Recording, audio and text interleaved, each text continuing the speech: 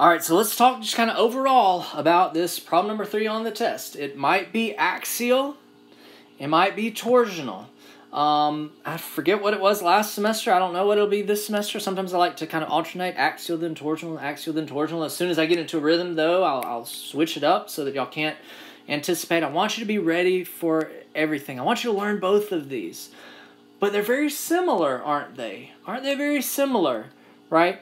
We had some statics. We had some statics, but it wasn't enough. You know, with this one, you'll have some statics, but you don't know P, you don't know uh, D, um, and you don't know the forces inside, but you know that's it's not enough.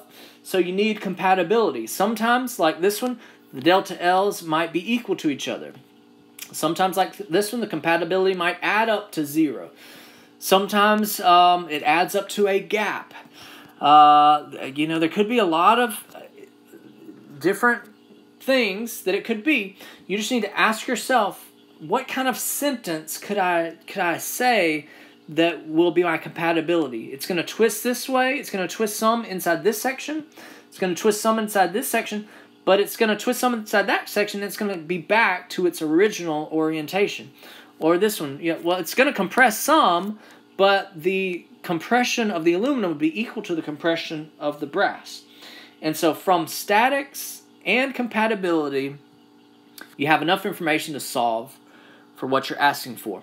Be careful, these T's are the internal torques uh, inside, if you were to cut it inside each section.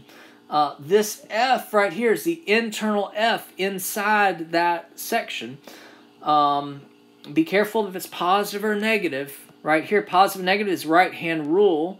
Uh, thumb pointed out of the cut is positive torque. Thumb pointed into the cut is negative torque. This one, positive and negative. Positive is tension, negative is compression.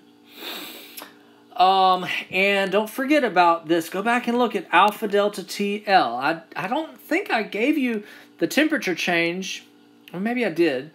Um, but uh, many times when I don't test you on something earlier in the semester, this was test two, I kind of like to test you that on the final exam because, you know, I don't want you to go the whole semester without me uh, testing you on something. Um, so you might have a temperature change right here if it's axial. Um, you've got a lot of problems to look back at. You've got pro- test two, right? Problem one was axial, problem two was torsional, wasn't it? Or is this test three? I'm losing track. Test two, right? Um, so you've got the two problems from our test we took this semester. You've got problems from every other test that you can find from my past semesters.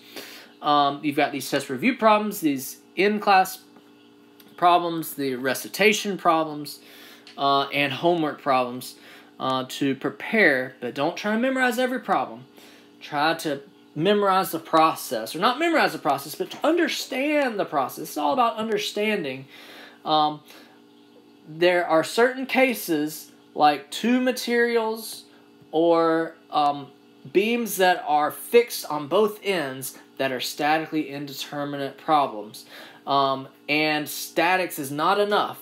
And so with this one, compatibility, either the delta L or the shear, the angle of twist helps us uh, to solve for everything that we need to solve for.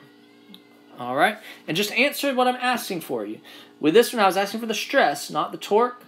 With this one, am I asking for the force inside each member? Or am I asking for the stress inside each member? Um, you know, don't give me a force if I'm asking for a stress. Don't give me a stress I'm asking for the force. Okay?